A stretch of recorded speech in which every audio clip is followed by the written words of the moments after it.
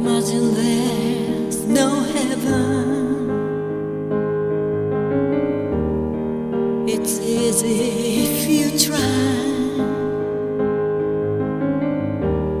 No, he'll be above his only sky. Imagine.